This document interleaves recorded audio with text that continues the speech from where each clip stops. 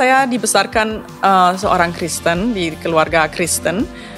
Tapi waktu saya 16 tahun, saya keluar dari gereja. Saya merasa, uh, saya nggak ngerasa Tuhan di sini karena saya merasa nggak nyaman sama sekali. Uh, I didn't do anything. saya nggak nggak lak, saya nggak lakukan apa-apa.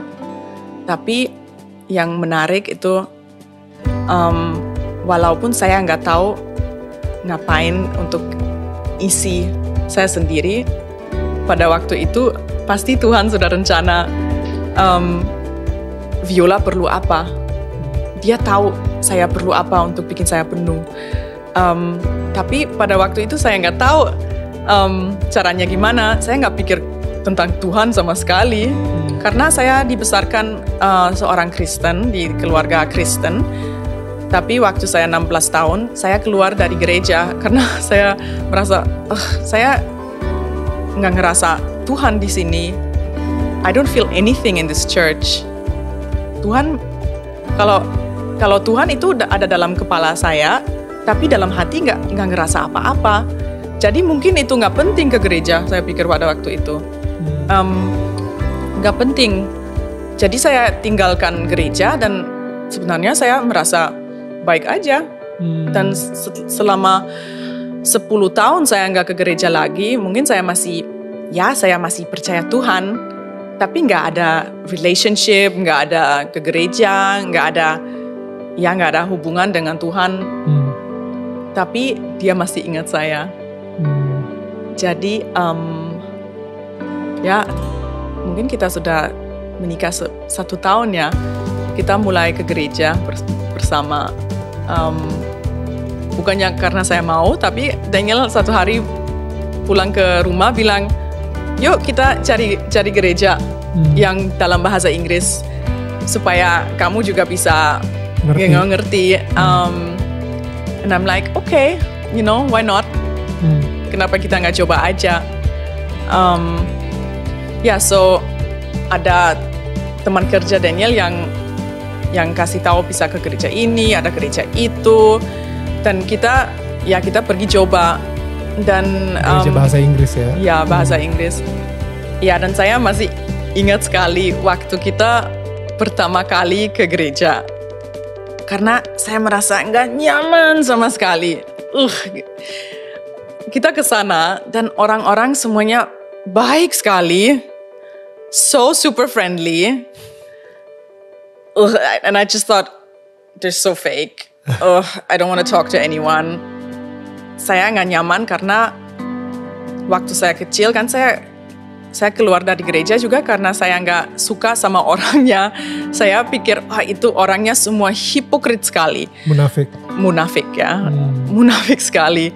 Dan saya nggak mau seperti mereka.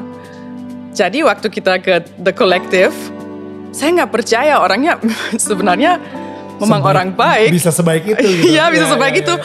Untuk saya itu fake ya. Hmm. Karena nggak bisa menerima orangnya bisa baik. Terus waktu ada khotbah, saya masih ingat itu Pastor Alex yang nge-preach hmm. dan saya lupa tentang apa tapi yang saya merasa itu mau nangis terus mau nangis dan nggak tahu kenapa mau nangis tapi nggak mau nangis jadi nggak jadi nggak nyaman mau mau pergi mau mau mau pergi aja nggak mau dengar lagi nggak nyaman sekali jadi setelah um, setelah pertama kali itu saya bilang sama Daniel ya let's let's go somewhere else. Ya, kita jangan jangan gak, gak mau ke gak mau ke gereja ini.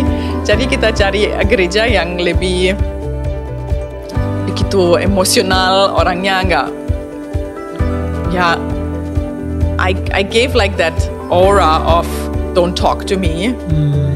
and um, ya waktu kita ke gereja yang lain mereka memang respect saya nggak mau bicara sama siapa-siapa saya mau masuk saya mau keluar. Kita saya, duduk di kursi paling belakang. Iya. kalau kita nggak suka sama khotbah, kita pulang. Kita pulang. Berdiri pergi. Hmm. Dan satu hari saya pikir, hah, kenapa saya nggak mau nangis di depan orang lain? Who cares? I don't care what they think. Hmm. I'll just bring tissue. Hmm. You know?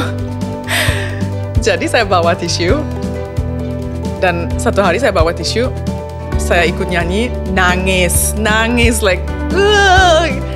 dan saya nggak tahu kenapa nangis, nggak ada rasa, nggak ada rasa sedih, nggak ada rasa apa.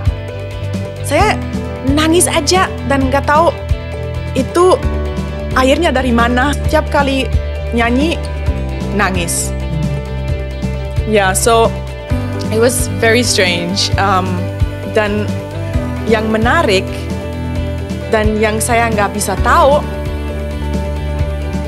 rasa yang kosong Hmm. yang saya merasa sebelumnya itu sedikit demi sedikit Terisi. isi- terisi Hmm. terisi dan walaupun nggak ada logik ya. Hmm. untuk orang yang logik seperti saya orang Jerman kan semuanya harus logik logik logik itu nggak masuk akal kenapa saya bisa diisi ya? Dengan nangis aja dengan worship God ya saya menyanyi saya menyanyi uh, ke Tuhan kan? Hmm. all these songs they're full of i love you god. God is awesome you know. God you're my savior and and i mean there's so many beautiful things we say to god Hmm. and we are, and it's actually like in those moments it's like we're letting god in we in these moments it was like i was opening my heart that was so closed was so thick so hard Hmm. so empty, kosong sekali.